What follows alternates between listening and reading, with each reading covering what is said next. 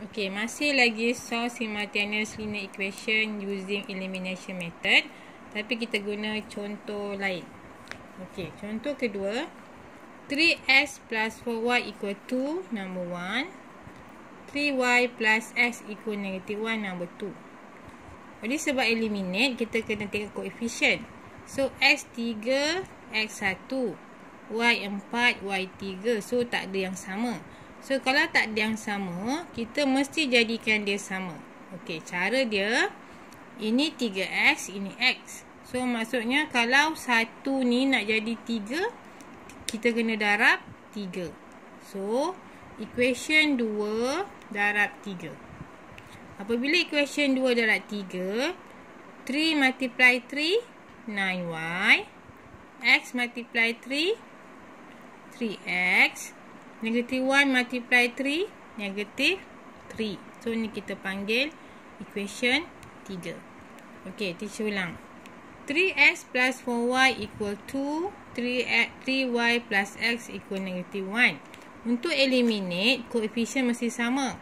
Sini 3, sini 1. Sini 4, sini 3. Tak ada yang sama.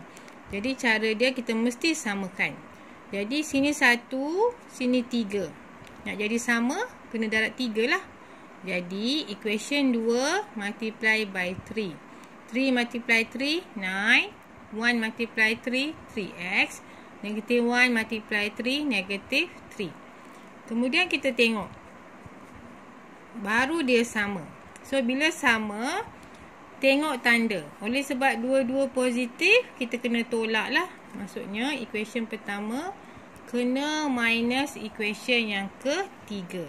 Maksudnya 3x minus 3x 0. Kita dah eliminate. 4y minus 9y negative 5y. Yang ini 2 minus negative 3. Eh, 2 minus negative 3 awak akan dapat 5. Sebab negatif-negatif tambah. So jawapan dia y equal 5 divide negative 5 negative 1. Okay. So, bila awak minus 1 minus 3. 3x minus 3x 0. 4y minus 9y negative 5y. 2 minus negative 3 5. Okay. Sebab tu jawapan dia y equal negative 1.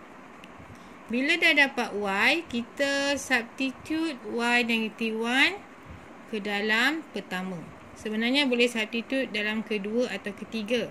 Jawapan dia sama. Okey, so teacher salin.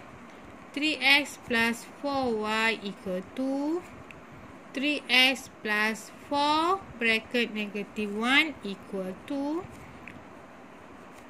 4 multiply negative 1 minus 4. Kemudian 3x 2 plus 4. Kenapa plus? Sebab ni negatif.